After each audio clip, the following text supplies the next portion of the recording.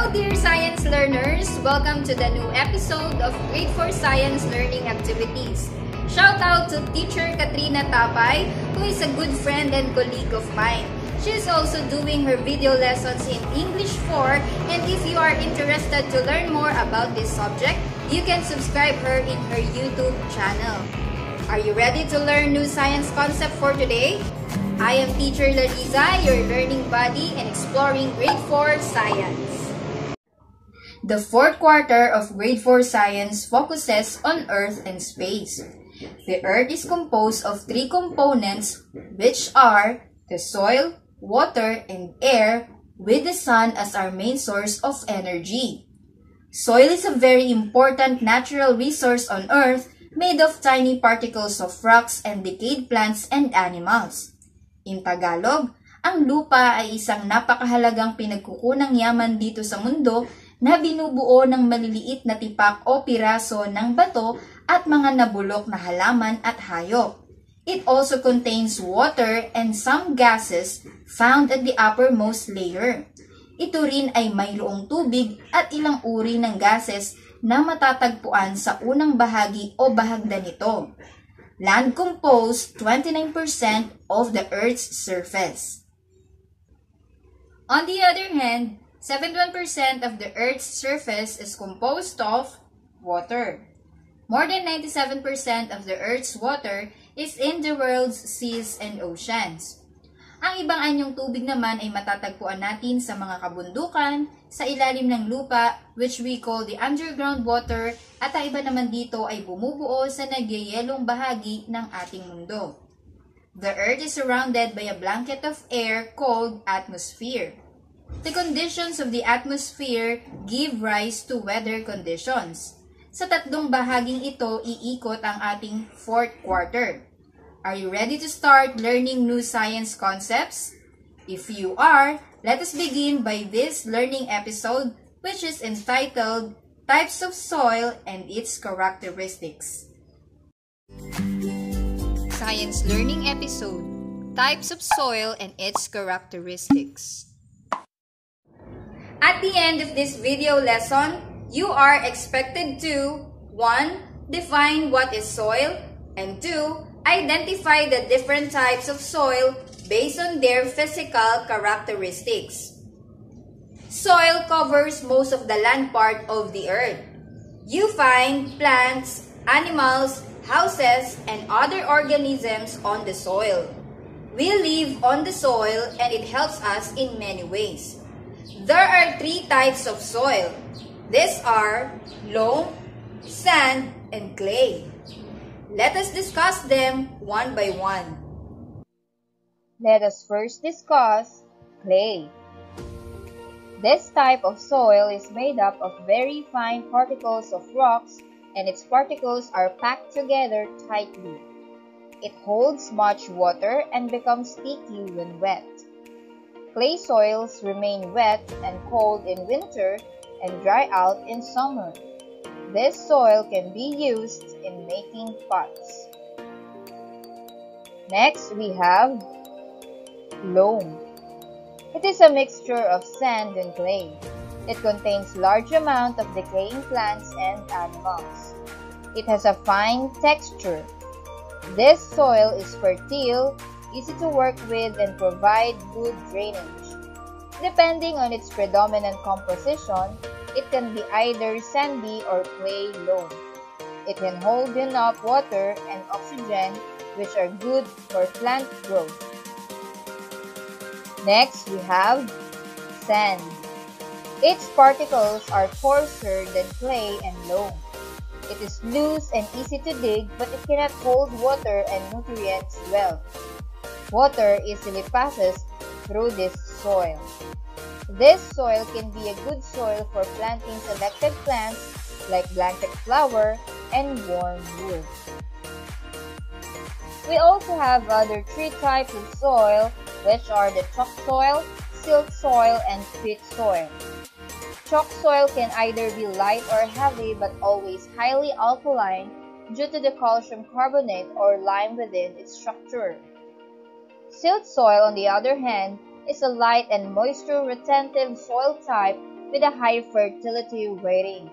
As silt soil is compromised of medium-sized particles, they are well drained and hold moisture well.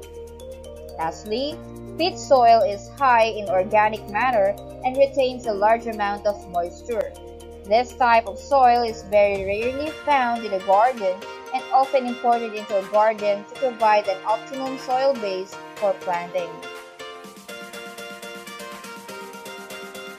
Now let us check your understanding about this lesson. For this activity, you have to identify the types of soil described in each number. 1. A type of soil which is high in organic matter and retains a large amount moisture. 2. It has coarse and loose particles. 3. It contains large amount of decaying plants and animals. 4. It can be either light or heavy but always highly alkaline due to the calcium carbonate or lime within its structure. And 5. This type of soil is made up of very fine particles of rocks and its particles are packed together tightly.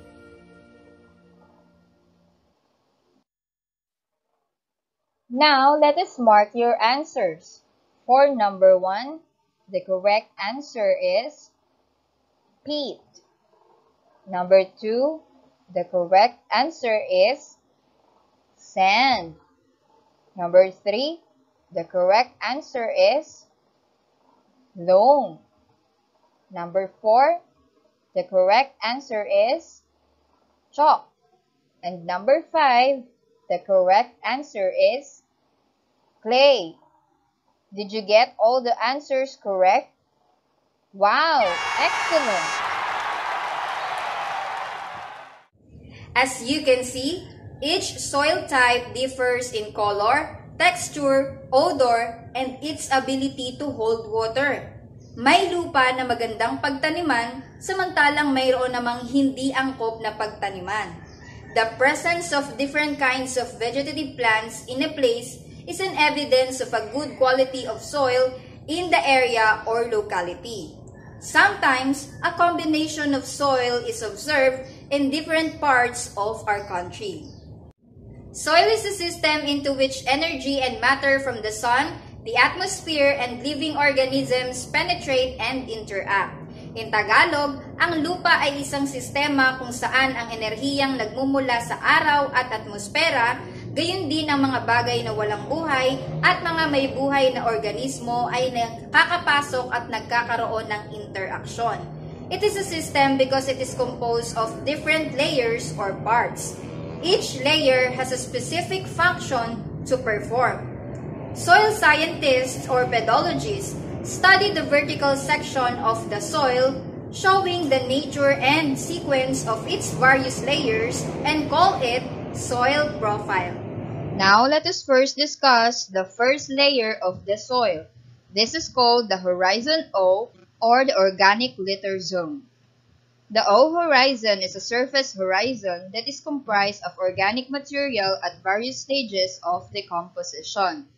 It is most prominent in forested areas where there is the accumulation of debris fallen from trees.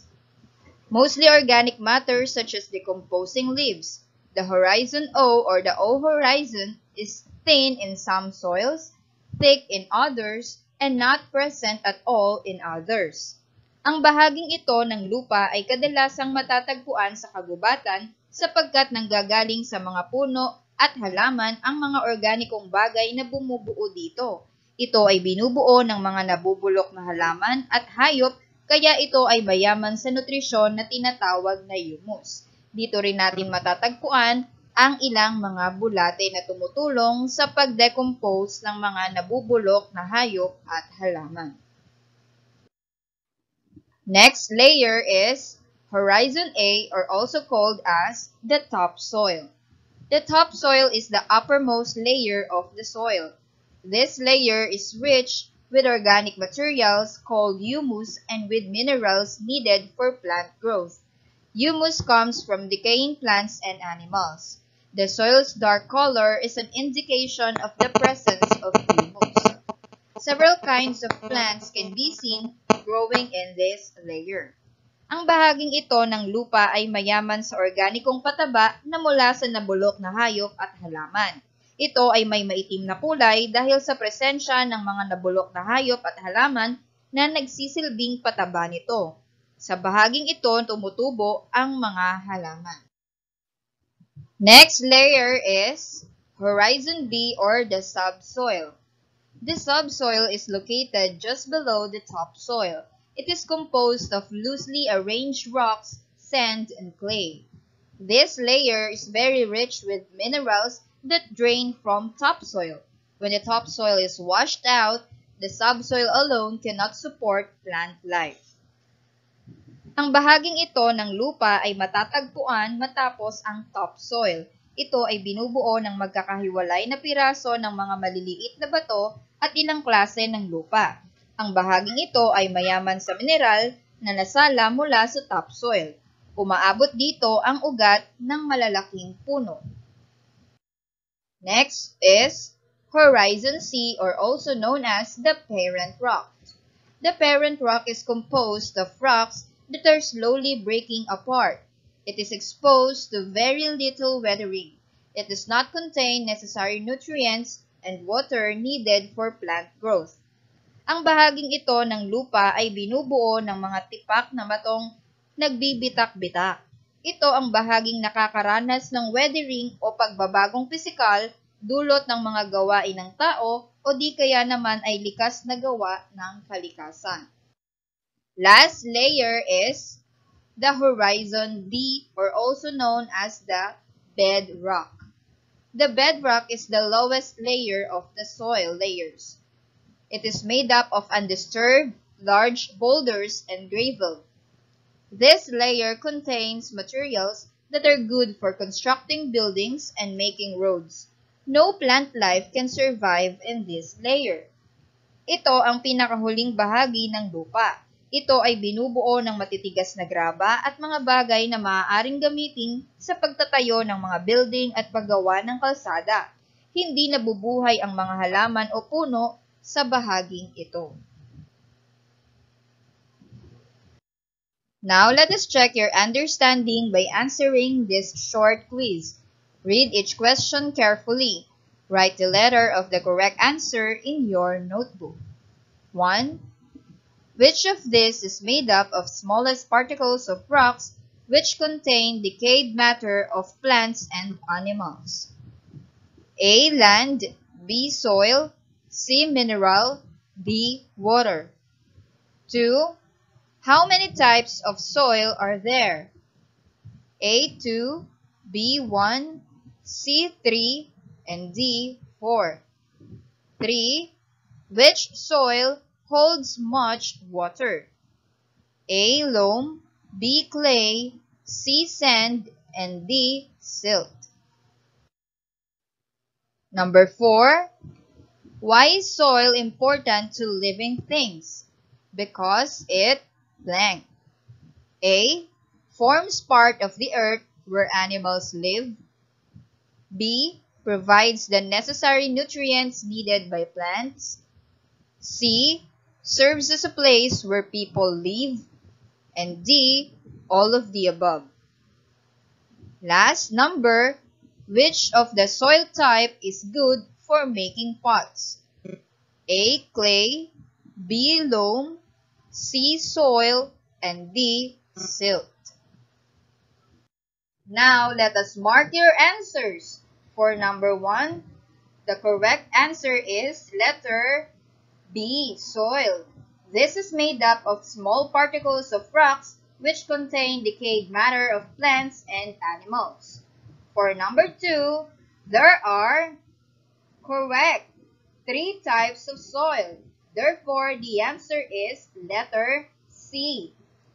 For number 3, the soil that holds much water is correct.